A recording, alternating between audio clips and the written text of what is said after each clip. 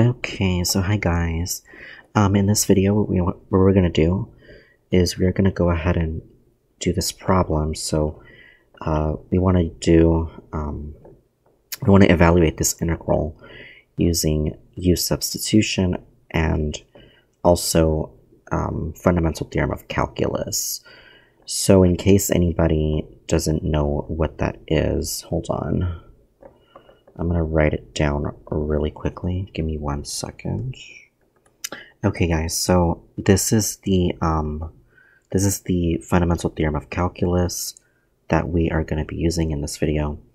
So first and foremost, we need to take care of this um, integral, and and I'm going to rewrite it. So basically, the integral from zero to the square root of pi of x sine of x squared um, dx. So what I'm going to do here is I am going to go ahead and um, and get and do some u substitution. So I believe if I'm correct um, that we should go ahead and do, so give me one second. Okay, so in order to get rid of the, um, the x squared term, or rather the x term, we need to make u equal to, we need to make u equal to x squared, so u equals x squared, and so then we need to find du. du, the derivative of u, is 2x dx.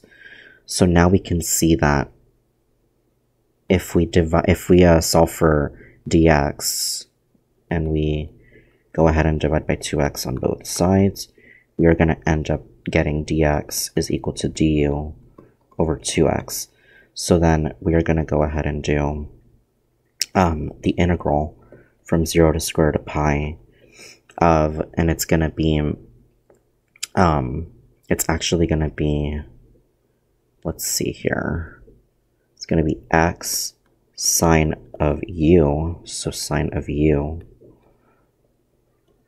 And then dx is really du over 2x. So this kind of replaces this part here. And so now we can clearly see that the x cancels out. So we have everything in terms of u. So now we have the following. The integral from 0 to square root of pi uh, of sine of u over 2 du. And since this is being multiplied by 1 half, since we have 0 to square root of pi of 1 half sine of u du, we can take that this 1 half outside. So we're going to have 1 half integral from 0 to square root of pi of sine of u du. Now, since the um, bounds of integration are in terms of x, we need to plug those in to u. So we know that we have to have everything in terms of u.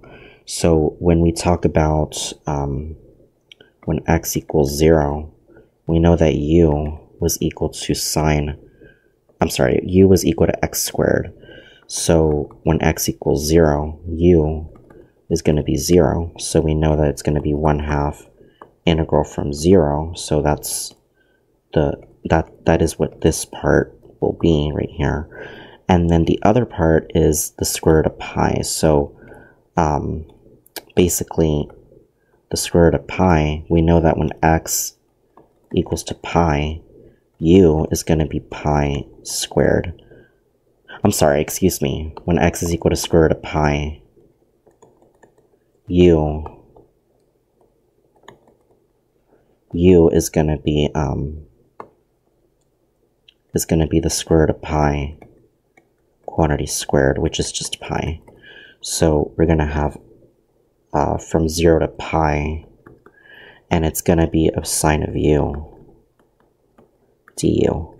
So now we can easily integrate this um, so we know that the integral of sine of u, the integral of sine of u du is negative cosine of u. So we know that this is actually going to be 1 half times negative cosine of u. One second, guys, like this. And then it's going to be from 0 to pi. Now we can take the negative 1 half out, so this negative can go outside. So we have negative 1 half times uh, cosine of u. And it's from 0 to pi. So again, the fundamental theorem of calculus tells us that we have to do, once we take the integral um, of this, we need to do f of b minus f of a. In this case, we know that a, this is a, and the, so a equals 0, and then b, we know that it's going to be pi. So b equals pi. So then we know that um, f of u is cosine of u. And so we know that if I do f of b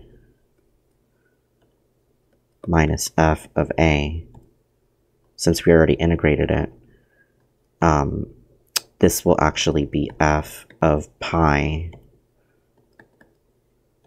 minus f of 0. So really, this is going to be the following one actually. Sorry guys, hold on. So then this is going to equal, so we know that f of pi, f of pi is really just cosine of pi, which is really um, negative 1. So we know we're going to put negative 1 right here. And for cosine of 0, when x equal, when u equals 0, we know it's going to be, um, it is going to be 1. So um, it's going to be minus 1. Now we cannot forget that we are multiplying this whole thing by negative 1 half. So we have to have a negative 1 half right here.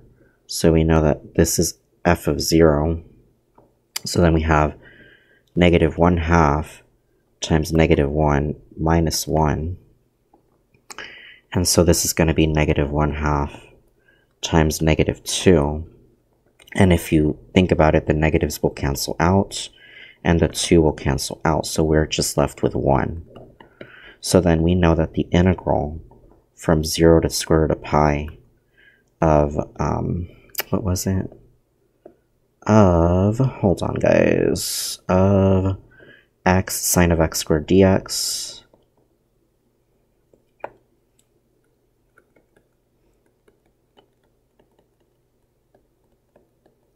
is equal to 1. So that is our final answer, guys, and that is going to be it for this video. And uh, with that being said, thank you so much for watching, and also please like, comment, and or subscribe. And I will see you guys in the next video. Bye, guys.